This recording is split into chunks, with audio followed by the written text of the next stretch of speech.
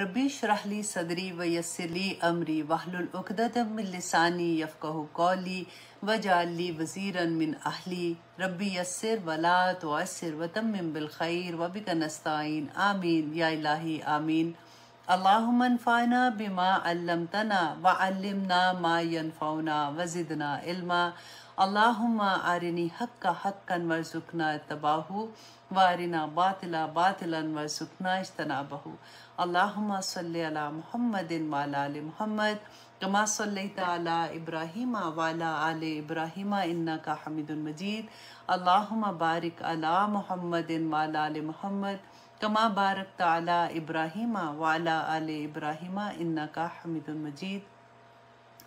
अस्सलाम वरहमतुल्लाहि व बरकातुहू कैसे हैं आप लोग? अल्हम्दुलिल्लाह। सुम्मा अल्हम्दुलिल्लाह। अल्लाह सुब्हानहू तआला से दुआ करती हूँ कि अल्लाह सुब्हानहू तआला हमें एक एक आया की समझ आता है तो जब ऑनेस्टली जब आते हैं ना, इतना मज़ा आता है कुरान पढ़ने को कि आपका दिल ही नहीं चाहता कि आप उसको छोड़ें, क्योंकि आपको पता होता है कि अच्छा यहाँ पे मैंने वर्ड को मिलाना है, यहाँ पे मैंने कैसे यू नो उसको अदा करना है।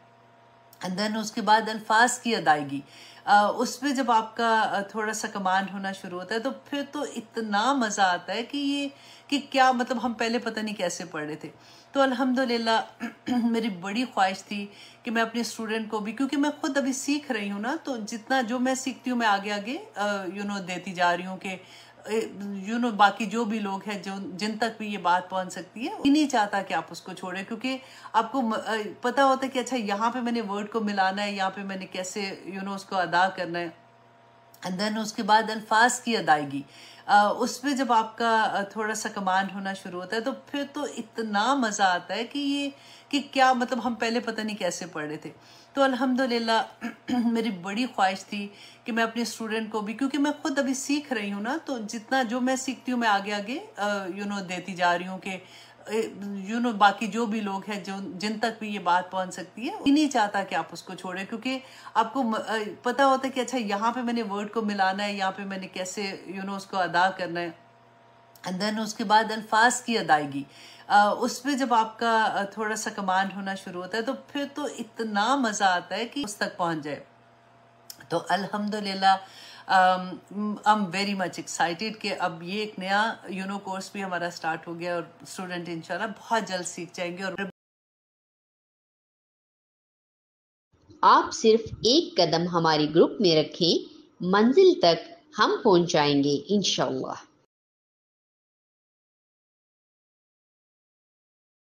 आज हम आपकी खिदमत में ऐसा अनोखा और दिलचस्प सबक लेकर आ रहे हैं, जो ना कभी देखा और ना कभी सुना होगा इल्ला माशाल्लाह। वीडियो देखकर ही आप पहचानेंगे कि सबक का नाम क्या है। ये कोर्स हमारे मुख्तलिफ़ व्हाट्सएप ग्रुप्स में फ्री में सिखाया जाता है। ग्रुप्स में फ्री एडमिशन के लिए आज ही रब्ता कीजिए। जी हाँ आज के सबक का नाम है पेश जबर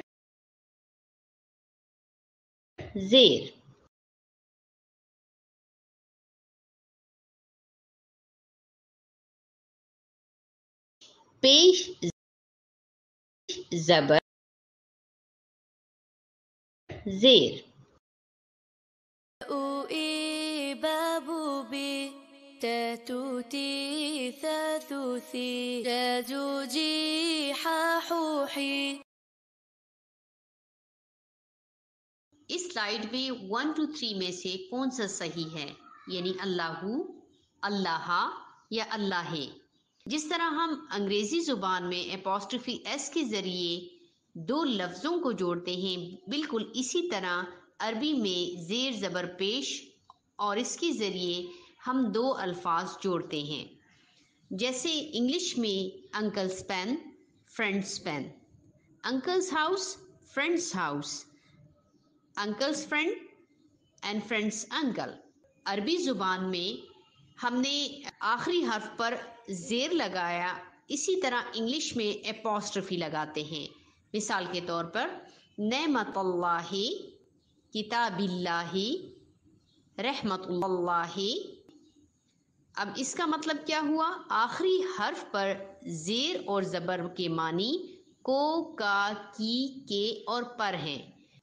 नाम पर अगर पेश हो तो इसका मतलब है कि ये काम इसी ने किया, यानी पेश के माना है ने के, जैसे कि खलक अल्लाह अल्लाह ने पैदा किया। नाम पर अगर पेश हो तो इसका मतलब है कि ये काम इसी ने किया, यानी पेश के माना है ने के, जैसे कि खलक अल्लाह अल्लाह ने पैदा किया। और अगर नाम पर ज़बर हो तो काम इसने नहीं, बल्कि किसी और ने किया। ज़बर के माना, को है, यानी वल्लमा आदमा, और इसने आदम को सिखाया। और अगर नाम पर ज़बर हो तो काम इसने नहीं, बल्कि किसी और ने किया। ज़बर के माना, को है, यानी वल्लमा आदमा, और इसने आदम को सिखाया।